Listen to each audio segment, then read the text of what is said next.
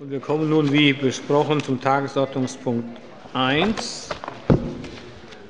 Fragestunde, mündliche Fragen. Wir beginnen mit der Frage 554. Das ist der Kollege Merz. Bitte schön, Herr Kollege. Ähm, ah, Entschuldigung. Ich frage die Landesregierung, welche rechtlichen Möglichkeiten bzw. Hindernisse sieht sie bei der Festsetzung eines landesweit einheitlichen Elternbeitrags für Kindertagesstätten? Augenblick, Herr Minister, in erster Büro sagen. Herr Staatsminister Grüttner. Herr Abgeordneter, bei der Kinderbetreuung in Hessen handelt es sich um eine Aufgabe, die in die originäre und abschließende Zuständigkeit und damit Finanzierungsverantwortung der hessischen Städte und Gemeinde fällt. Das Land unterstützt die Kommunen bei der Wahrnehmung der Aufgaben im Bereich der Kinderbetreuung, indem es Mittel nach dem Hessischen Kinder- und Jugendhilfegesetzbuch in Höhe von jährlich durchschnittlich 434,5 Millionen Euro zur Verfügung stellt.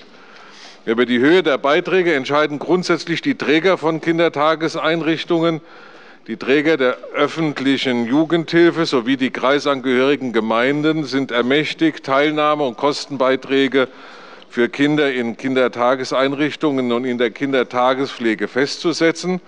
Die Träger der freien Jugendhilfe können Entgelte aufgrund privatrechtlicher Vereinbarungen mit den Eltern festlegen.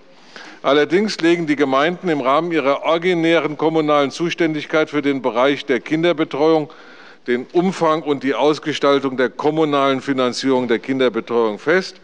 In diesem Kontext nehmen sie unmittelbar oder mittelbar Einfluss auf die Höhe der Elternbeiträge da bei der Finanzierung ein bestimmter Anteil für Einnahmen durch Elternbeiträge zugrunde gelegt wird. Vor diesem Hintergrund wäre die Festsetzung eines landesweit einheitlichen Elternbeitrages für Kindertagesstätten zu beurteilen. Nach 74a 8. Buch Sozialgesetzbuch haben die Länder grundsätzlich einen Gestaltungsspielraum bei der Regelung der Finanzierung in der Tageseinrichtungen für Kinder. Die Festsetzung einheitlicher Elternbeiträge durch den hessischen Landesgesetzgeber würde jedoch unmittelbar in die Aufgabenwahrnehmung der Gemeinden im Bereich der Kinderbetreuung eingreifen. Wie dargelegt, tragen in Hessen die Kommunen die Verantwortung für die Kindertagesbetreuung. Hiermit geht ein Gestaltungsspielraum, der die Ausgestaltung der Finanzierung der Tageseinrichtungen umfasst, einher. Die Festlegung eines Finanzierungsanteils durch das Land widerspricht dieser umfassenden Gesamtverantwortung. Wie sich eine solche Regelung auf die Finanzsituation der Gemeinden in ihrer Gesamtheit auswirken würde, hinge von der konkreten Ausgestaltung einer Regelung ab. Aufgrund der kommunalen Verantwortung verfügt das Land auch nicht über die erforderlichen Kenntnisse für die Bestimmung eines angemessenen landesweiten Elternbeitrages. Diese Kenntnisse liegen vielmehr in der jeweiligen Gemeinde beziehungsweise bei den Trägern der freien Jugendhilfe vor, die für diesen Bereich die originäre Zuständigkeit haben. Bei der Ausgestaltung von Finanzierungsregelungen nach 74a 8. Buch Sozialgesetzbuch hat der Landesgesetzgeber zudem das Gebot der Pluralität der Jugendhilfe zu beachten. Danach muss die Pluralität der Träger und Inhalte gewährleistet werden, um letztlich dem Wunsch und Wahlrecht der Eltern nach 5 SGB VIII Rechnung tragen zu können. Eltern haben danach unter anderem das Recht, zwischen Einrichtungen verschiedener Träger zu wählen und Wünsche hinsichtlich der Gestaltung zu äußern. Die Landesregierung hält daher die Festsetzung eines landesweit einheitlichen Elternbeitrags für Kindertageseinrichtungen aufgrund eines unterschiedlichen Angebotes, das das Pluralitätsgebot und das Wunsch- und Wahlrecht der Eltern berücksichtigt und nicht zuletzt wegen unterschiedlicher Kostenstrukturen letztlich nicht für zielführend. Zusatzfrage, Herr Kollege Merz. Herr Minister, ich darf, das so zusammen, darf ich das so zusammenfassen, dass Sie es für unzweckmäßig, aber für rechtlich nicht ausgeschlossen halten? Herr Staatsminister Grüttner. Sie haben die Gabe, Herr Abgeordneter, das, was ich lange ausgeführt habe, in fünf Worten zusammenzufassen. Herr Kollege Merz, weitere fünf Worte stelle ich Ihnen eine Frage, die man mit Ja und Nein beantworten kann. Ähm, würden, Sie, würden Sie das Gerücht dementieren, dass, würden Sie das Gerücht, das zu meinen Ohren gekommene Gerücht dementieren, dass die Landesregierung bei der Erstattung der Freistellung von Kindertagesstättenbeiträgen zukünftig auf eine Spitzabrechnung und nicht mehr also auf eine Erstattung von real erhobenen Kindergartenbeiträgen setzt, statt wie, äh, statt wie bisher auf eine pauschale Regelung. Herr Staatsminister Grüttner. Herr Abgeordneter, die Landesregierung nimmt zu Gerüchten grundsätzlich keine Stellung.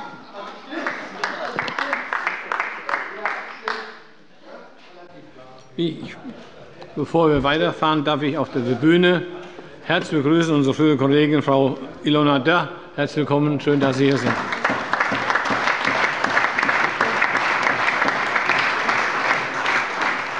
Ich rufe auf die Frage 555. Herr Kollege Schaus. Ich frage die Landesregierung, wird die beabsichtigte Flucht des Hessischen Verbandes für Leistungs- und Qualitätsprüfung in der Tierzucht aus der betrieblichen Altersversorgung der VBL, die durch Auflösung und Neugründung des Verbandes vollzogen werden soll, seitens der Landesregierung unterstützt oder sogar genehmigt werden. Frau Staatsministerin Hinz. Sehr geehrter Herr Abg. Schaus, zunächst einmal ist der Verband ein eigenständiger Verband, äh, bei dem wir nichts zu genehmigen haben, was seine wirtschaftliche Tätigkeit angeht. Zur Sache selbst. Die Regelung der Altersversorgung der beim Hessischen Verband für Leistungs- und Qualitätsprüfungen in der Tierzucht beschäftigten Mitarbeiterinnen und Mitarbeiter gehört zu den originären Arbeitgeberaufgaben des HVL. Der Verband ist als Arbeitgeber Mitglied in der Versorgungsanstalt des Bundes und der Länder VBL in Karlsruhe. Hierdurch sichert der Verband eine Zusatzversorgung zur Ergänzung der gesetzlichen Rentenversicherung für seine Beschäftigten. Der HVL-Vorstand hat in der Mitgliederversammlung am 19. April 2016 seine Mitglieder über die hohen Kosten durch die Zahlung von sogenannten Sanierungsgeldern seitens des Arbeitgebers informiert, die Teil der Finanzierung der Zusatzversorgung bei der VBL sind. Bereits seit mehreren Jahren laufen Gerichtsverfahren des HVL gegen diese von der VBL geforderten Sanierungsgelder. Die mit der VBL-Mitgliedschaft verbundenen Kosten erschweren seit Jahren eine vom HVL und anderen Landeskontrollverbänden angestrebte Kooperation über Landesgrenzen hinaus. Diese Kooperation hätte gerade angesichts der aktuellen Milchkrise große Vorteile für die HVL-Mitgliedsbetriebe und die gesamte hessische Landwirtschaft. Angesichts der Tatsache, dass die Weiterentwicklung des HVL vor allem durch die übermäßigen Belastungen durch die Mitgliedschaft in der VBL erschwert wird, überlegt der HVL, aus der VBL auszutreten und die zusätzliche Alterssicherung seiner Mitarbeiterinnen und Mitarbeiter ohne Mitgliedschaft in der VBL sicherzustellen. Es liegt im Interesse der Landesregierung, dass eine sachgerechte und sozialverträgliche Lösung im Interesse der gesamten hessischen Landwirtschaft und der beim HVL beschäftigten Mitarbeiterinnen und Mitarbeiter gefunden wird. Zusatzfrage, Herr Kollege Schaus. Frau Ministerin, wie erklären Sie sich denn die Aussage des Geschäftsführers des HVL in dieser Mitgliederversammlung, ich zitiere wörtlich, die Auflösung bedarf auch der Zustimmung des Landes Hessen, weil Sie ja gesagt haben, das sei ähm, nicht zustimmungspflichtig. Frau Staatsministerin Hinz. Also die HVL will ähm, ja statt einer Auflösung den Austritt des HVL aus der VBL prüfen. Und das scheiterte in den vergangenen Jahren daran, dass für diesen Fall die VBL mit hohen Gegenwertsansprüchen für die dauerhafte Finanzierung der zum Zeitpunkt des Austritts vorliegenden unverfallbaren Versorgungsansprüchen droht, die nach Einschätzung des HVL zur Insolvenz des Verbandes führen würden. Der HVL hat daher das äh, Ministerium, also mein Ministerium, um Unterstützung gebeten. Diese Unterstützung könnte eine Landesbürgschaft sein für die geforderte Gegenwertzahlung Die Entscheidung äh, über eine solche Unterstützung kann aber erst getroffen werden, wenn das vom HVL bei der VBL erbetene Gutachten zur Höhe der Gegenwertforderung vorliegt. Dann, äh, müsste man eine, dann muss die HVL eine Wirtschaftlichkeitsanalyse machen. Und dann erst könnten wir weiter reden über die Frage, welche Unterstützung für die VBL gewährleistet sein könnte. Zusatzfrage, Herr Schaus. Frau Ministerin, nimmt die HVL öffentliche Aufgaben wahr, die ansonsten äh, Bedienstete des Landes Hessen wahrnehmen müssten? Frau Staatsministerin Hinz. Also, weil die äh, VBL ja wichtige äh, Aufgaben für die Landwirtschaft wahrnimmt, wollen wir auch gerne, dass die HVL natürlich äh, weiterhin ihre Geschäfte führen kann, und zwar zugunsten der hessischen Landwirtschaft. Und deswegen sind wir in Gesprächen, wie die Geschäftstätigkeit des HVL weitergeführt werden kann. Frage 558, Herr Kollege Schaus. Ich frage die Landesregierung, hat das Frühwarnsystem Mivotherm zur Verhinderung von gefährlichen Vogelschlägen in der Anflugschneise der Nordwestbahn am Frankfurter Flughafen seit seiner Inbetriebnahme 2011 jederzeit fehlerfrei funktioniert? Herr Staatsminister Al-Wazir. Herr Schaus, der Planfeststellungsbeschluss zum Ausbau des Verkehrsflughafens Frankfurt-Main vom 18.12.2007 legt verbindlich fest, dass die Fraport AG zur Überwachung des Vogelzuges Main auf und Main abwärts ein bildgebendes Verfahren einzusetzen hat. Damit kann unter Einhaltung ausreichend langer Vorwarnzeiten vor Vogelschwärmen im Bereich der Kreuzung der Anfluggrundlinie der Landebahn Nordwest mit dem Main gewarnt werden. Diese Regelung setzt die Fraport AG mit dem System Mivotherm um. Das System ist seit der Inbetriebnahme der Nordbahn, also für die Anflugrichtungen 07L und 25R, seit Herbst 2011 in Betrieb und erfüllt die Vorgaben vollumfänglich. Zusatzfrage, Herr Schaus. Herr Minister, ähm, warum wurden anstatt der seinerzeit fünf ähm, vorgesehenen Messstationen aber nur drei in Betrieb genommen, und ist dies ausreichend für die Sicherheit? Herr Staatsminister Al-Wazir. Herr Abgeordneter, ich hatte Ihnen ja schon in der Kleinen Anfrage mit der Drucksache 19-3357 umfänglich zum Thema geantwortet. Aus unserer Sicht ist klar, dass die Fraport AG die Vorgaben des Planfeststellungsbeschlusses einhält, dass das System funktioniert. Die Fraport AG plant ein anderes System, das wissen wir, ähm, zum Ersatz von Mivotherm einzusetzen. Ähm, aber solange das nicht sozusagen in die Realität umgesetzt wird, ähm, gehen wir davon aus, dass Mivotherm weiter betrieben wird. Das ist nicht nur etwas, was wir alleine machen. Da hat auch die deutsche Flugsicherung ein Wort mitzureden. Und nach meiner Kenntnis äh, hat es seit 2011 keine Probleme gegeben. Zusatzfrage, Abg. Schaus. Herr Minister, ähm, können Sie mir erklären, warum nur inländische Fluggesellschaften ähm, im Meldesystem, also im verbindlichen Meldesystem für Vogelschläge äh, Meldungen machen müssen und ausländische anfliegende Fluggesellschaften auf Rhein-Main nicht? Herr Staatsminister Al-Wazir. Herr Abg. Schaus, das ist mir nicht bekannt. Aber ich gehe mal davon aus, dass sozusagen jedes Flugzeug, was einen Vogelschlag erleidet, in Anführungszeichen, dieses natürlich der Kontrolle des Flughafens meldet. Und äh, wenn Sie sich die Realität in den letzten knapp fünf Jahren betrachten, ist mir nicht bekannt geworden, dass es dort größere Probleme gegeben hätte. Frage 559, Herr Abg. Rock. Ich, fra Ich frage die Landesregierung, wann wird sie dem Landtag den Landessozialbericht vorlegen? Herr Staatsminister Grüttner. Abgeordneter in der zweiten Hälfte des Jahres 2017.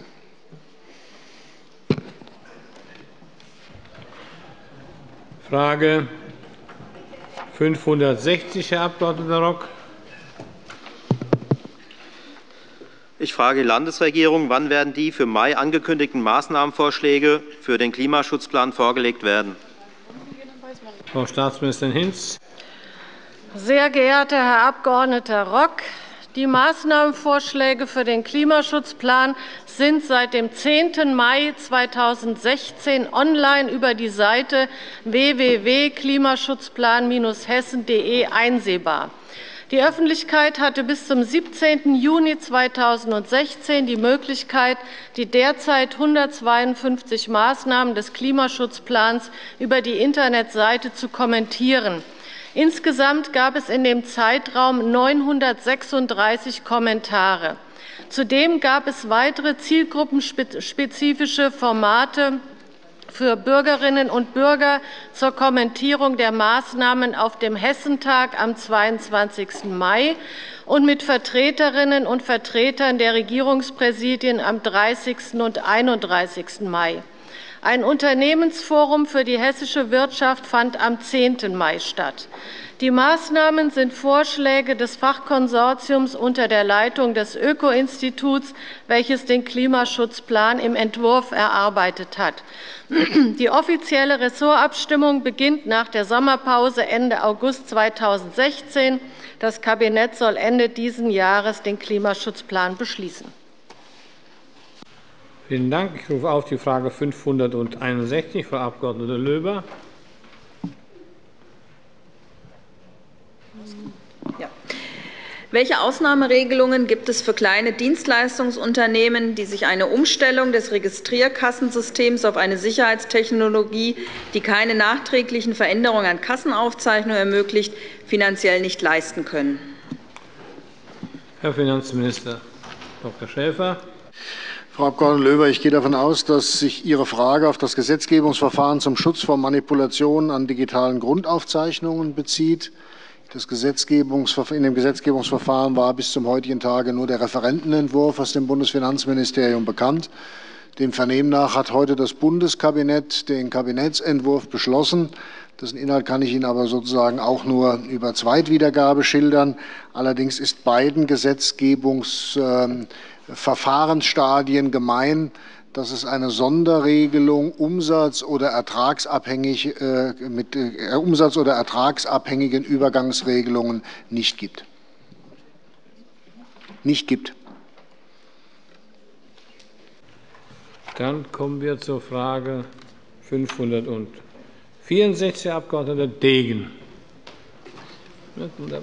Ich frage die Landesregierung, an welchen Standorten von Schulformen bestehen derzeit Intensivklassen, auch wenn der Unterricht dieser Klassen schulformübergreifend stattfindet?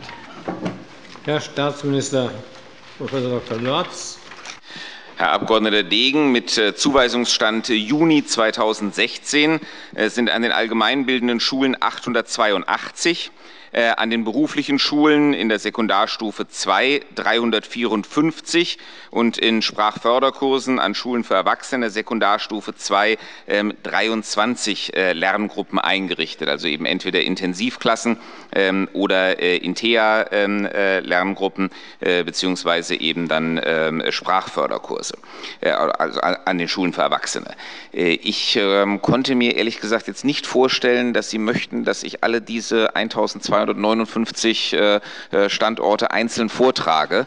Äh, ich habe Ihre Frage ähm, daher so interpretiert, ähm, dass Sie eine Aufschlüsselung ähm, der Standorte nach Schultypen wünschen. Ihrem Kopfnicken entnehme ich, dann habe ich Sie richtig interpretiert. Diese Liste habe ich mitgebracht. Wenn gewünscht wird, dass ich die vorlese, dann tue ich das gerne. Das sind 23 insgesamt.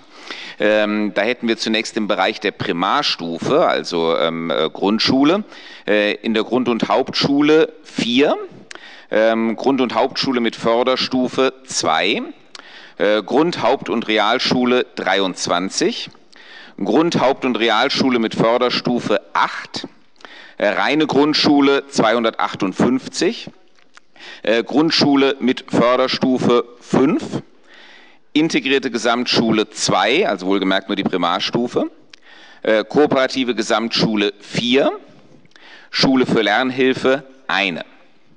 Im Bereich der Sekundarstufe 1 haben wir in der Grund- und Hauptschule 14, Grund- und Hauptschule mit Förderstufe 1, Grund-, Haupt- und Realschule 32, Grund-, Haupt- und Realschule mit Förderstufe 24, Gymnasium 29, Haupt- und Realschule 71, Haupt- und Realschule mit Förderstufe 36, Hauptschule 14, integrierte Gesamtschule 156, kooperative Gesamtschule 161, Mittelstufengymnasium eine, Realschule 21, Schule für Lernhilfe 14 und dann noch äh, im Bereich der Sekundarstufe 2 eine gymnasiale Oberstufenschule. Das ist der Bereich der allgemeinbildenden Schulen und ähm, die äh, beruflichen Schulen, die 354 in TR-Lerngruppen, äh, kann man da natürlich nicht näher untergliedern, weil die beruflichen Schulen ja immer äh, alle Schultypen oder jedenfalls sehr viele davon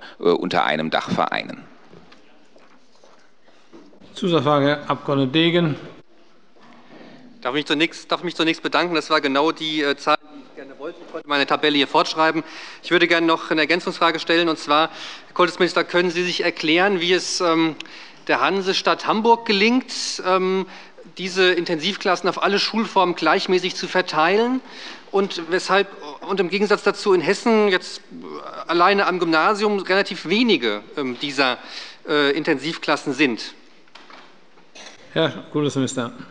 Herr Abg. Degen, äh, was Sie ansprechen, insbesondere natürlich die Verteilung äh, zwischen äh, den Gymnasien ähm, und ähm, den ähm, schulformübergreifenden Schultypen, also integrierten kooperativen Gesamtschulen, beruht einfach auf der Überlegung, dass ja nach der Intensivsprachförderung die Kinder und Jugendlichen von den Intensivklassen in den Regelunterricht wechseln sollen. Und da sollen sie natürlich möglichst an der Schule verbleiben, an der sie auch schon die Intensivklasse besucht haben. Und die Wahrscheinlichkeit dafür, dass das möglich ist, ist einfach an der Gesamtschule sehr viel größer, weil es da egal ist, ähm, für welchen Bildungsgang Sie sich im Anschluss an die Intensivklasse als geeignet erweisen, weil eben die Gesamtschule per Definition alle Bildungsgänge unter einem Dach anbietet.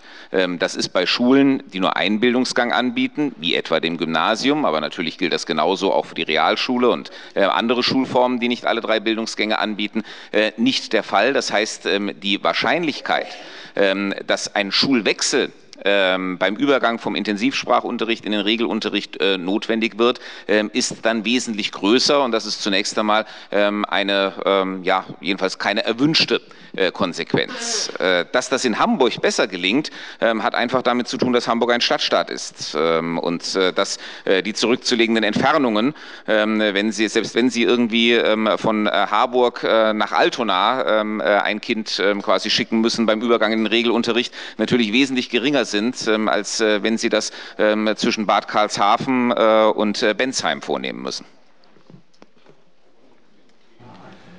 Nächste Frage ist die Frage 567, Herr Abg. Warnecke.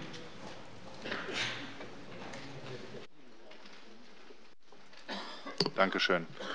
Ich frage die Landesregierung, gibt es einen besonderen Grund, warum die herausragenden Freilichttheaterfestspiele Deutschlands, die vom 24. Juni, also bereits begonnen, bis zum 28. August in Bad Hersfeld dargeboten und mit einer Summe von 770.000 Euro landesseitig gefördert werden, nicht in das Programmbuch 1946 bis 2016, 70 Jahre Hessen feiern Sie mit, aufgenommen worden sind? Herr Staatsminister Wintermeyer. Herr Präsident, ähm, Herr Abg. Warnecke! Die Hessische Landesregierung hat angesichts des Jubiläums 70 Jahre Hessen eine Programmbroschüre aufgelegt, die die bunte, fröhliche Vielfalt unseres Landes zeigen soll. Sie spiegelt mit rund 70 Veranstaltern, die sich gemeldet haben, eine breite Palette unterschiedlichen Genres, nämlich Theater, Museen, Volksfeste, Vorträge und vieles mehr. Eine solche Vielfalt kann nur durch die Unterstützung der Veranstalter selbst gelingen Und um möglichst viele Veranstalter zu erreichen, wurden auf Einladung der Hessischen Staatskanzlei zwei vorlaufende Gesprächsrunden mit sehr großer Beteiligung aus ganz Hessen durchgeführt. Aus dem Kreis der Teilnehmer heraus wurden äh, zahlreiche weitere Verteiler erreicht. Eingeladen waren auch die kommunalen Spitzenverbände, die Landkreise und auch die Stadt Bad Hersfeld. So wurden über den Hessischen Städte- und Gemeindebund sämtliche Mitgliedskommunen angeschrieben und auch die Hessenagentur informierte über ihren Tourismusverteiler über die Möglichkeit, die eigene Veranstaltung der jeweiligen Stadt oder Gemeinde in dem Programmheft kostenlos bewerben zu können. Das Ergebnis waren rund 150 gemeldete Veranstaltungen bis zum Ende des Redaktionsschlusses, die auch dann aufgenommen worden sind. Herr Abg. Warnecke, eine Meldung der Bad Hersfelder Festspiele wäre ohne Frage eine Bereicherung für das Heft gewesen. Bedauerlicherweise erfolgte von dort eine Mitteilung zur Aufnahme in das Programmheft nicht. Gleichwohl werden die Hersfelder Festspiele im Rahmen des Online-Veranstaltungskalenders, der auch ordentlich nachgefragt wird, beworben werden, sowie jede weitere passende Veranstaltung, die uns noch gemeldet wird. Ich rufe auf die Frage 568, Herr Abg. Franz.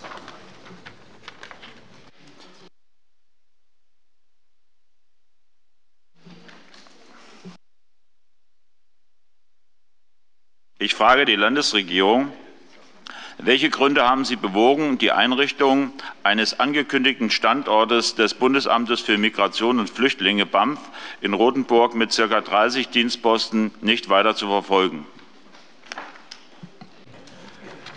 Herr Minister für Soziales und Integration. Herr Abgeordneter, ich möchte ausdrücklich betonen und äh, richtigstellen, dass sich die Hessische Landesregierung zu keiner Zeit gegen die Einrichtung einer Außenstelle des BAMF in Rothenburg an der Fulda ausgesprochen hat. Somit lagen der Landesregierung auch keine Gründe vor, die gegen die Errichtung einer BAMF-Außenstelle in Rothenburg sprechen würden. Die Landesregierung stand von Beginn an hinter dem Standort Rothenburg als BAMF-Standort weil sie entsprechend auf landesrechtlicher Ebene in der dritten Verordnung zur Änderung der Verordnung zur Bestimmung von Zuständigkeiten nach dem Asylverfahrensgesetz vom 23. November 2015 geregelt hat. Diese Verordnung regelt Rothenburg als Erstaufnahmestelle, nicht Außenstelle, sondern als Erstaufnahmestelle. Auch eine entsprechende Nutzung der Liegenschaft wurde seitens der Landesregierung seit Frühjahr letzten Jahres durchgängig verfolgt. Die Forderung der Hessischen Landesregierung an allen vier Standorten, sprich in Gießen, in Büdingen, in Neustadt und Rothenburg BAMF-Außenstellen zu installieren, wurden unsererseits seit Beginn des Prozesses im Frühjahr letzten Jahres mehrfach gegenüber dem BAMF verdeutlicht und eingebracht. Umso verwunderlicher war die Aussage eines Mitarbeiters des BAMF, dass in Gesprächen mit der hessischen Landesregierung davon Abstand genommen wird. Von Seiten der hessischen Landesregierung haben solche Gespräche nicht stattgefunden. Eine entsprechende Korrektur der Auffassung ist auch in einem Protokoll einer Bund-Länder-Besprechung in Berlin festgehalten. Seitens des BAMF wurden sowohl in den Bund-Länder-Konferenzen als auch in den bilateralen Gesprächen allerdings zunehmend verdeutlicht, dass sie in § 5 Absatz 2 Asyl, 3 Asylgesetz enthaltene Sollvorschrift das heißt, BAMF-Außenstellen bei Aufnahmeeinrichtungen mit mehr als 500 Plätzen nicht mehr zu halten sei, nach Auffassung des BAMF. Und in der Folge hat das BAMF seine Bearbeitungsstrategie diametral geändert und beginnend mit dem sogenannten Heidelberger Modell von den Ländern den Aufbau von Ankunftszentren eingefordert.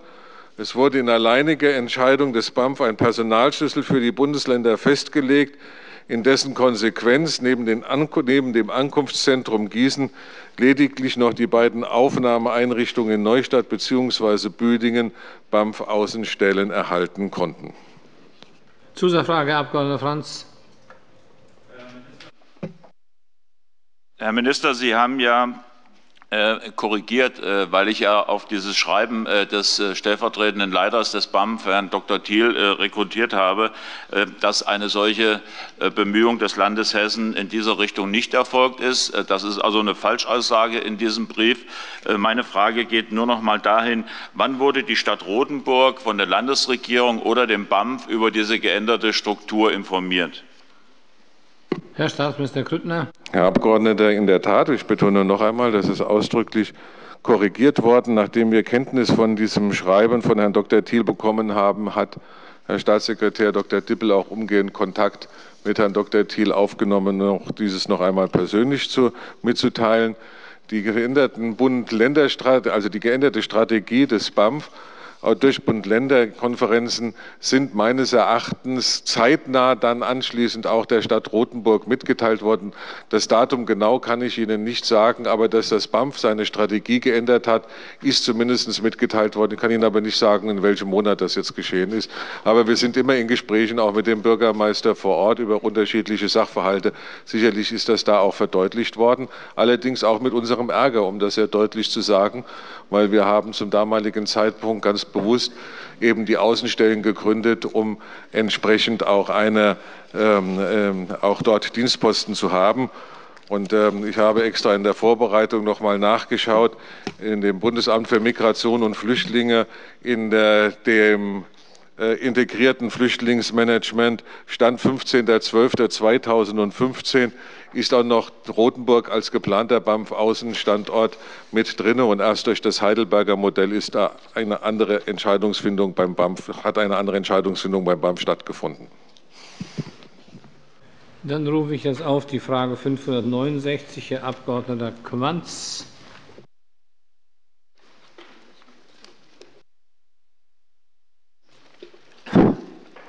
Ich frage die Landesregierung, welche Gründe sind dafür verantwortlich, dass bundesweit die Kultusminister der einzelnen Länder offensichtlich verhindern, dass Ländervergleiche in der Bildungspolitik weiterhin stattfinden? Herr Staatsminister Prof. Dr. Lorz. Herr Abg. Quanz, es kann keine Rede davon sein, dass die Kultusminister der Länder Ländervergleiche in der Bildungspolitik aktuell oder zukünftig verhindern. Die Kultusminister der Länder lassen ganz im Gegenteil seit Mitte der 90er Jahre des vergangenen Jahrhunderts die Leistungen der Schulsysteme der Länder umfangreich und regelmäßig überprüfen und vergleichen. Allein in diesem Jahr werden im Juni der nationale Bildungsbericht ähm, also der Juni ist eigentlich schon vorbei, der ist auch schon vorgestellt. Ähm, also wurde im Juni der nationale Bildungsbericht und wird im Oktober der Ländervergleich des Instituts für Qualitätsentwicklung im Bildungswesen für die Sekundarstufen 1 in Deutsch, Englisch und Französisch erscheinen. Im kommenden Jahr wird der Ländervergleich für die Grundschulen veröffentlicht werden, der zurzeit durchgeführt wird. Mit der überarbeiteten Gesamtstrategie zum Bildungsmonitoring vom 11.06.2015 hat die Kultusministerkonferenz ihre diesbezüglichen Aktivitäten klar definiert und ihr bisheriges Engagement bestätigt und für die Zukunft abgesichert. Seit der sogenannten empirischen Wende in der Bildungsforschung sind auch mit Unterstützung der Länder die Bestände an Bildungsdaten enorm gewachsen. Die Daten werden in sehr unterschiedlichen Formen, zum Beispiel in großen nationalen wie internationalen Bildungsstudien wie IQB-Ländervergleichen, PISA, TIMSS und IGLU, aber auch in anderen Formaten erhoben. Sie werden auf unterschiedlichen Wegen publiziert, zum Beispiel im Rahmen international abgestimmter Veröffentlichungen, etwa bei PISA, aber auch in Publikationen der statistischen Ämter des Bundes und der Länder, den statistischen Schriftenreihen der Kultusministerkonferenz, dem Bildungsbericht, weiteren Länderbildungsberichten und regionalen Bildungsberichten, dem Bildungsfinanzbericht, wissenschaftlichen Publikationen und vieles mehr. Alle diese Daten sind zugänglich und für Forschungszwecke nutzbar und viele wissenschaftliche Einrichtungen und Forschende arbeiten auch mit diesen Daten und unterstützen so die Weiterentwicklung des Bildungswesens. Zusatzfrage, Herr Abg. Quanz. Mit Ihrer Erlaubnis, Herr Präsident, würde ich gerne aus dem Handelsblatt vom 11.05. kurz zitieren, und zwar den renommierten Dortmunder Schulforscher Wilfried Boos. Ich zitiere, es ist manchen Politikern vielleicht peinlich, wenn ihr Bundesland auf dem Niveau von Mexiko landet. Ein Teil der Länder hat offenbar kein Interesse daran, von Wissenschaftlern in der Öffentlichkeit vorgeführt zu werden. Wie kommentieren Sie das? Herr Staatsminister Prof. Dr. Lorz. Herr Abg. Quanz, äh, zumindest ähm, für das Land Hessen trifft diese Aussage definitiv nicht zu. Herr Abgeordneter, Augenblick mal, Herr Abg. Quanz, bitte. Da können wir durchaus gemeinsam sicher sein, dass Hessen da besser abschneidet. Das ist auch gut so. Aber ich lasse nicht locker. Ich darf noch einmal, Herr Präsident, aus dem Handelsblatt zitieren, und zwar diesmal Marcel Helbig, der im Wissenschaftszentrum Berlin für Sozialforschung tätig ist. Er sagt, keiner weiß, woran es liegt, dass die Schüler in Bremen oder Hamburg so viel schlechter sind als jene in Bayern oder Baden-Württemberg. Also ein bildungspolitischer Blindflug findet statt. Das sind noch massive Kritiken. Können Sie dazu noch mal was sagen? Herr Kultusminister. Ähm, Herr Abg. Quanz, das ist in der Tat eine Frage, die wir mittlerweile regelmäßig auch auf entsprechend großen Foren äh, mit, den, mit, der empirischen Bildungsforschung von Seiten der Kultusministerkonferenz erörtern. Ähm, und ähm, die Herausforderung besteht darin, ähm, von der Ebene der Diagnostik ähm, zur Ebene ähm, sozusagen der Verhaltensratschläge zu kommen. Ähm, das heißt, die empirische Bildungsforschung ist sehr weit dahingehend entwickelt, ähm, dass wir Bestandsaufnahmen machen können, ähm, dass wir also schon sehen können, wo äh, sozusagen wünschenswerte Stände erreicht sind, wo eventuell Defizite bestehen. Nur die Gründe für diese Defizite äh, zu benennen und gar etwa Handlungsstrategien äh, zu ihrer Überwindung zu formulieren, damit tut sich die empirische Bildungsforschung nach wie vor sehr schwer und deswegen ist das sozusagen ein Rätsel, an äh, dessen Lösung äh, wir von Seiten Politik und Wissenschaft äh, gemeinsam nach wie vor arbeiten. Frage 572, Herr Abg. Yüksel. Ich frage die Landesregierung, wie es geplant ab dem Schuljahr 2016-2017 die Schulinspektion fortzuführen. Herr Kultusminister. Herr Abg. Yüksel, die Schulinspektion, äh, künftig soll sie Schulevaluation heißen, soll sich ab dem Schuljahr 2016-17 auf zwei Arbeitsfelder konzentrieren. Erstens auf eine begleitende interne Evaluation. Ähm, das heißt eine Evaluation, die durch die Schule verantwortet und durchgeführt wird. Diese soll Unterstützung erhalten durch nachfrageorientierte, passgenaue Angebote äh, des Dezernats 1.3 der Hessischen Lehrkräfteakademie äh, zur systematischen Qualitätsentwicklung von Schule und Unterricht. Es wird verbindliche Kooperationsbeziehungen mit der Schulaufsicht geben. Das Angebot umfasst eine datenbegründete Schulentwicklungsberatung, die an die Fragen der Schule anschließt und Mittel der internen Evaluation als verbindliche Bestandteile zur Sicherung und Steuerung der Prozesse implementiert. Den Schulen wird eine Plattform zur Verfügung gestellt, die Zugriff auf eine Vielzahl von Erhebungsinstrumenten zur Durchführung interner Evaluationen ermöglicht und anschauliche Auswertungen vorsieht. Darüber hinaus erhält die Schule Unterstützung bei der Datenerhebung, Auswertung, Interpretation vorhandener Daten und vor allem Beratung. Zweitens soll es eine externe Evaluation auf Abruf geben. Äh, das bedeutet eine Evaluation, die entweder durch die Schulaufsicht, äh, durch die Schulleitung oder durch die Schulkonferenz veranlasst werden kann. Die externe Evaluation, das ist quasi der unmittelbare Nachfolger der äh, bisherigen Schulinspektion, versteht sich dabei künftig noch stärker als Dienstleistung für die Schule, um eine kritische, fundierte Rückmeldung zu konkreten schulischen Fragen zu erhalten. Zusatzfrage, Herr Kollege Degen.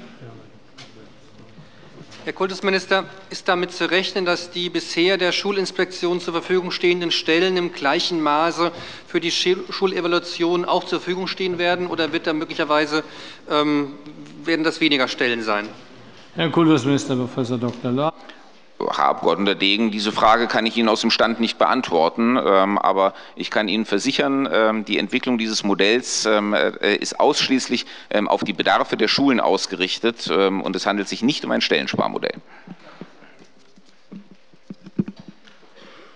Dann rufe ich auf die Frage 573, Herr Abg. Dr. Hahn. Herr Rentsch, bitte schön, Sie vertreten ihn. So ist es, Herr Präsident. Vielen Dank. Ich frage die Landesregierung, zu welchen Ergebnissen ist sie bei der von ihr angekündigten Überprüfung der gesetzlichen Regelung bzw. Erlasse zum sogenannten Kopftuchverbot an hessischen Schulen gekommen? Herr Kultusminister. Herr Abg. Rentsch, ähm, das Hessische Kultusministerium hat bereits mit Erlass vom 4. September 2015 ähm, auf die Entscheidung des Bundesverfassungsgerichts vom 27. Januar 2015 unter dem Aktenzeichen 1 BVR 471 aus 10 reagiert. Dadurch wurde für die praktische Anwendung entsprechend Klarheit geschaffen. Darüber hinaus sind die fachlichen und juristischen Prüfungen für eine Schulgesetznovelle durch das Kultusministerium noch nicht abgeschlossen. Sobald dies erfolgt ist, wird ein Gesetzentwurf vorgelegt, der dann in ein Anhörungsverfahren geht. Die Frage nach einer Änderung von 86 des Hessischen Schulgesetzes wird dabei hinreichend beantwortet werden.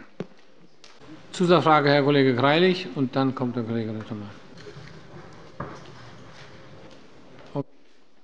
Vielen Dank. Herr Minister, Sie haben uns äh, mehr oder weniger die gleiche Antwort schon am 10. September 2015 im äh, Schulausschuss gegeben. Mittlerweile ist äh, wieder ein Dreivierteljahr vergangen. Die Schulleitungen haben bis heute keine Hinweise bekommen über den Erlass hinaus, wie Sie im Einzelfall tatsächlich verfahren sollen. Äh, wie lange gedenken Sie, die Prüfung denn noch voranzutreiben? Herr Kultusminister Prof. Dr. Lorz. Herr Abg. Greilich, die in dem Erlass gegebenen Hinweise ähm, sind jedenfalls ähm, von der rechtlichen Seite her vollkommen ausreichend. Zusatzfrage, Herr Kollege Rentsch. Herr Staatsminister, ich möchte noch einmal fragen, jetzt haben wir eine formale Diskussion geführt, wie es inhaltlich steht bei dem Thema. Ähm, wo tendiert denn die Landesregierung hin, wenn ich das äh, so offen fragen darf? Was ist denn Ihre persönliche Einschätzung? Wird es bei der Erlasslage vom Content, vom, vom materiellen Gehalt so bleiben oder wird die Landesregierung bei diesem Thema eine Ausweitung vornehmen? Herr Kultusminister Prof. Dr. Lorz. Herr Abg. Rentsch, diese Frage ist durch das Bundesverfassungsgericht äh, ziemlich detailliert beantwortet worden. Ähm, und äh, es steht auch mir äh, als Landesminister nicht an, ähm, diese Entscheidung des Bundesverfassungsgerichts in irgendeiner Form ähm, zu modifizieren oder zu hinterfragen. Und die letzte Zusatzfrage, Kollege Merz. Wo ist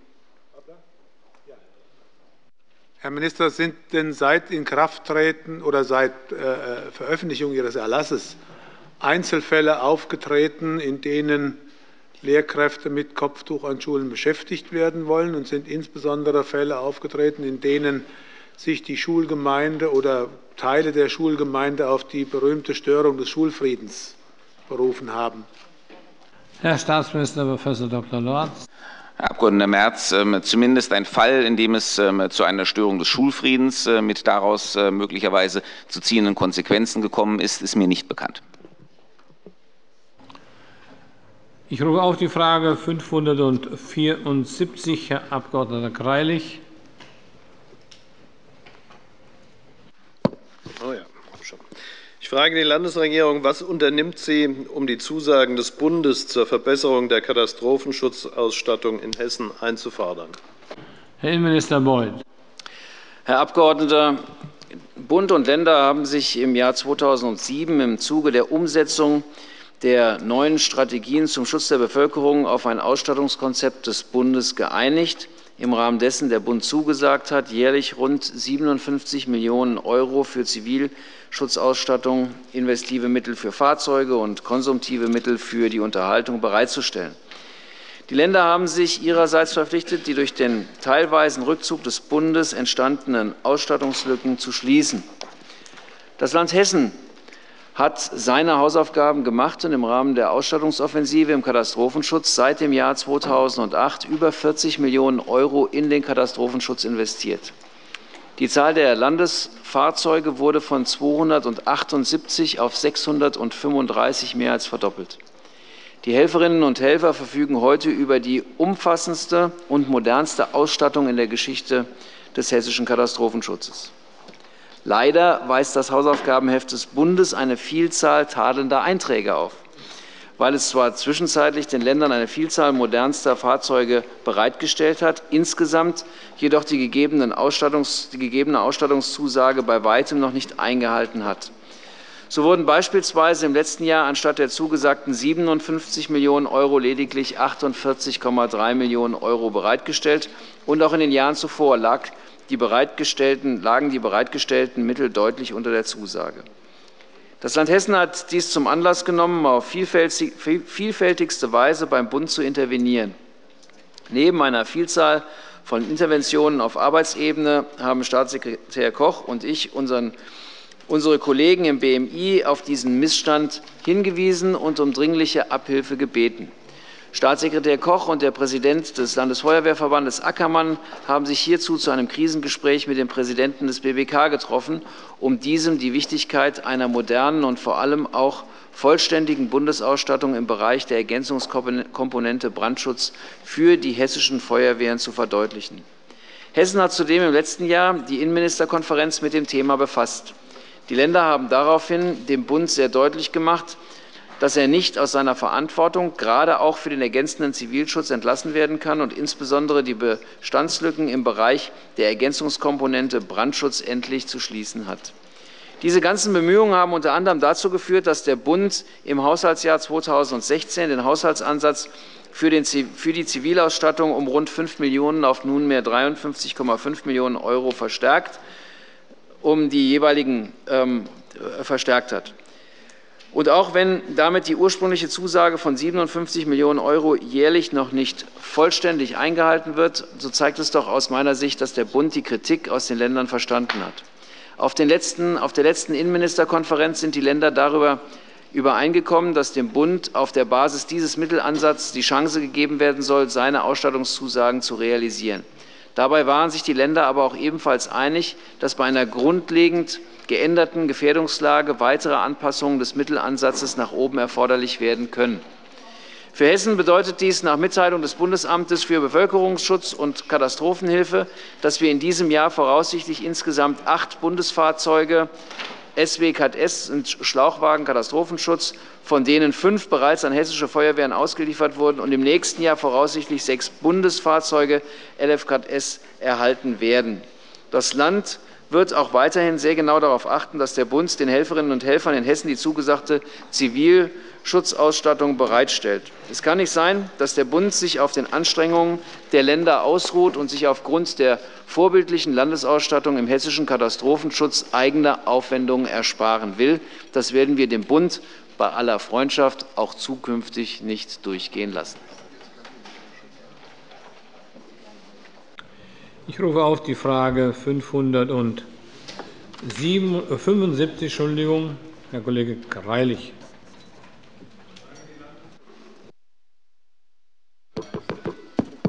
Ich frage die Landesregierung, wie weit ist die Umsetzung der angekündigten Neuerrichtung der Landesjugendfeuerwehrschule in Marburg-Kappel gediehen? Herr Innenminister. Herr Abg. Greilich, der Neubau des Jugendfeuerwehrausbildungszentrums soll gemeinsam mit dem Neubau des Feuerwehrgerätehauses in Marburg-Kappel auf dem jetzigen Grundstück erfolgen. Um Planungsideen und Entwurfsvarianten finden zu können, wurde ein sogenannter Realisierungswettbewerb unter Federführung der Universitätsstadt Marburg mit Beteiligung des Landesbetriebs Bau und Immobilien Hessen durchgeführt. Momentan befindet man sich im Vergabeverfahren vor der Vergabekammer aufgrund eines Einspruchs eines Bewerbers. Der ursprünglich für Ende Juni 2016 anberaumte Termin vor der Vergabekammer ist wegen einer gewährten Fristverlängerung für die Einreichung der Klagebegründung verschoben worden. Damit sind wir aber noch nahezu im Zeitplan. Zurzeit ist lediglich eine Verzögerung von etwa zwei Monaten zu erwarten. Nächste Frage ist die Frage. Okay, Herr Kollege Greilich. Ich möchte nachfragen, ob sich das Verfahren vor der Vergabekammer schon um Bauleistungen handelt oder ob es noch um die Planungsleistungen geht in dem Verfahren, weil das ja etwas mit der Frage des Sachstandes zu tun hat. Und wenn Sie erlauben, Herr Präsident, sonst melde ich mich gleich noch einmal, äh, würde ich gerne nachhaken, ob es zutrifft, dass die Stadt Marburg angedeutet hat, sich aus dem gemeinsamen Projekt verabschieden zu wollen. Herr Innenminister Beuth. Das ähm, Vergabekammerverfahren ähm, geht um den Realisierungswettbewerb. Wir haben ähm, anlässlich des am 19. April 2016 stattgefundenen Verhandlungsverfahrens zur Vergabe der Projektsteuerungsleistung für den Neubau für den Neubau teilte die Universitätsstadt Marburg mit, dass ein Verfahren vor der Vergabekammer wegen einer Rüge des unterlegenen Architekten erfolgte. Also es geht um die entsprechenden Architektenleistungen. Zu, den, ähm, äh, zu der Frage ähm, Terminanberaumung habe ich eben etwas erklärt. Und ähm, ich bin mir mit dem Oberbürgermeister der ähm, Stadt, Universitätsstadt Marburg einig, dass ähm, das äh, Bauprojekt ähm, wie vereinbart weiterverfolgt werden soll. Er hat uns äh, mit Datum vom 17.06. glaube ich, kann ich hier nicht genau, ist bei uns eingegangen am 22.06. mitgeteilt, lediglich, dass der Ansatz von 1,5 Millionen im Haushaltsplan 2016 ähm, die die Stadt Marburg für, den ähm, Bau, für das Bauprojekt vorgesehen hat, in Verpflichtungsermächtigungen aufgrund der Haushaltssituation umgewandelt werden kann, aber dass gleichwohl die entsprechenden Aufträge vergeben werden könnten, so wir das Vergabekammerverfahren abgeschlossen haben.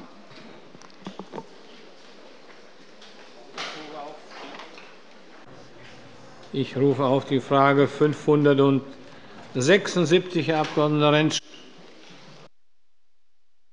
Präsident, vielen Dank. Ich frage die Landesregierung, plant sie eine Anpassung der Vergütung für die Leitung von Arbeitsgemeinschaften im Rahmen des juristischen Vorbereitungsdienstes an hessischen Gerichten? Frau Staatsministerin Kühne-Hörmann. Sehr geehrter Herr Abg. Rentsch, ja, die Landesregierung beabsichtigt auf meinen Vorschlag eine Erhöhung der Vergütung für die Leiterinnen und Leiter von Arbeitsgemeinschaften für die Rechtsreferendare. Ich will feststellen, dass es schon erstaunlich ist, dass in den letzten Jahren auch von meinen Vorgängern keine Initiative gestartet worden ist, eine Erhöhung vorzunehmen, auch nicht in der letzten Legislaturperiode, zumal die Vergütung der Leitung von Arbeitsgemeinschaften seit dem Jahr 2001, also seit 15 Jahren, nicht mehr erhöht worden ist und wir unter dem Bundesdurchschnitt seit Jahren liegen. Deshalb wollen wir die Arbeitsgemeinschaftsleitervergütung jetzt spürbar erhöhen und zwar von derzeit 20,45 € pro Unterrichtsstunde auf 25 € pro Unterrichtsstunde. Das entspricht einem Zuwachs von 22% Sehr geehrter Herr Kollege Rentsch, Sie haben nur nach der Arbeitsleitervergütung gefragt, aber das ist zu kurz gegriffen bei dem Thema. Es geht nämlich auch um die Vergütung im juristischen Vorbereitungsdienst für Klausuren für Rechtsreferendare. Auch hier ist 2001 seitdem keine Erhöhung mehr erfolgt. Und deshalb wollen wir auch die Vergütung für die Korrektur von Klausuren erhöhen, nämlich von derzeit 7,15 € pro Klausur auf 8,75 €. Und mir ist wichtig, darauf hinzuweisen, dass mit der geplanten Erhöhung der Vergütung für die Leitung von den Arbeitsgemeinschaften und für das Korrigieren von Klausuren ein sichtbares Zeichen der Wertschätzung für unsere AG-Leiter im juristischen Vorbereitungsdienst gesetzt werden. Mir kommt es auch darauf an, und das will ich hier sagen, mich zu bedanken bei all denjenigen, die in der Justiz und Anwaltschaft sich der juristischen Ausbildung widmen und sich da engagieren und dem juristischen Nachwuchs ein wenig von dem zurückgeben, was man selbst während der Ausbildung mitbekommen hat oder an der beruflichen Erfahrung sammeln konnte. Frau Kollegin Hoffmann, Zusatzfrage. Knöpfchen, danke. Die, Frau Justizministerin, Sie haben ja äh, zu Recht die Entwicklung ähm, angesprochen seit 2001. Ähm, da können Sie dem Haus ist keine, ist keine Erhöhung erfolgt, auch keine spürbare Erhöhung. Da können Sie, dem, äh, da können Sie auch dem Hause erklären, seit wann äh, die äh, CDU, nämlich Ihre äh, Partei und Fraktion, Mitglied der Regierung äh, hier im Land Hessen ist. Bitte teilen Sie das diesem Hause auch mit und ähm, auch, ähm, ob Sie denn davon aus. Frau Kollegin, es geht um Fragen, nicht um Aufforderungen. Also Sie fragen jetzt wahrscheinlich, ob Sie es mitteilen wollen würde. Danke. Oh, Kühnemann. Wie Sie wissen, Frau Kollegin Hoffmann, ist das seit 1999 der Fall. Aber es hat bisher keiner es in die Hand genommen, weder von den Verantwortlichen noch sonst. Und jetzt wird es gemacht. Und darauf kommt es, glaube ich, an. Herr Kollege Rentsch, eine Zusatzfrage, bitte. Ja, Frau Ministerin, wir sind ja dankbar. Vielleicht gibt es ja demnächst auch eine Regierungserklärung dazu. Aber ähm, ich glaube, ähm, um mal zu fragen, ist ja seit zweieinhalb Jahren, seitdem Sie im Amt sind, ein Thema. Ich kenne die Briefe. Wann planen Sie denn die genaue Umsetzung? Frau Justizministerin. Sehr geehrter Herr Kollege Rentsch, in dem Haushaltsplanentwurf wird das vorgeschlagen werden, und es liegt dann an dem Haushaltsgesetzgeber, diesem Entwurf zuzustimmen.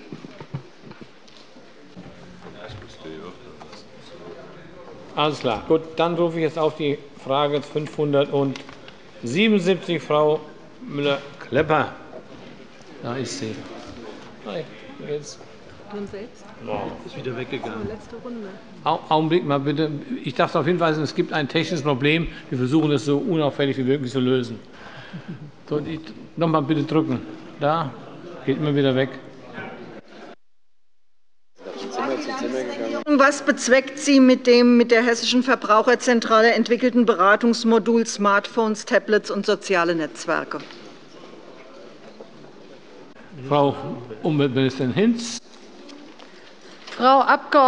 Müller-Klepper, in dem Modul Smartphones, Tablets und soziale Netzwerke geht es um Themen wie Nutzungsbedingungen bei Apps, also bei mobilen Anwendungen für Mobiltelefone, Urheberrecht in sozialen Netzwerken sowie Schutz vor Kostenfallen und Phishing, also Versuche über gefälschte Webseiten an persönliche Daten Dritter zu gelangen. Nur wer weiß, wie er sich in sozialen Netzwerken verhalten muss und wo welche Gefahren lauern, kann bewusst und umsichtig agieren und so gefahrlos von den vielen Vorteilen im Internet profitieren. Deswegen hat das Hessische Verbraucherschutzministerium das neue Modul im Projekt Alltagskompetenzen mit 4.000 € finanziell gefördert. Umgesetzt wird das Angebot von der Verbraucherzentrale Hessen. Das Modul Smartphones, Tablets und soziale Netzwerke soll dazu beitragen, dass vor allem junge Verbraucherinnen und Verbraucher und ihre Eltern nicht in Kostenfallen bei Smartphones und Tablet-Computern tappen. Dafür bietet die Verbraucherzentrale Hessen Schulen, Familienzentren und sonstigen Bildungseinrichtungen eine interaktive Ausstellung bzw. Vorträge an und sensibilisiert die Teilnehmenden für den Umgang mit ihren Daten und zeigt Handlungsmöglichkeiten zum Schutz vor Abzocke und Datenklau auf.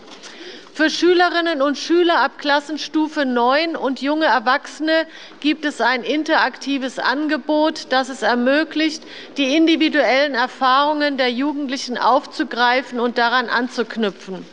Das Angebot sieht bis zu sechs Stationen vor, die vorgestellt und gemeinsam bearbeitet werden können. Die Stationen sind abwechslungsreich durch Kleingruppenarbeit, Arbeitsblätter und viele Anschauungsmaterialien mit aktuellen Beispielen gestaltet.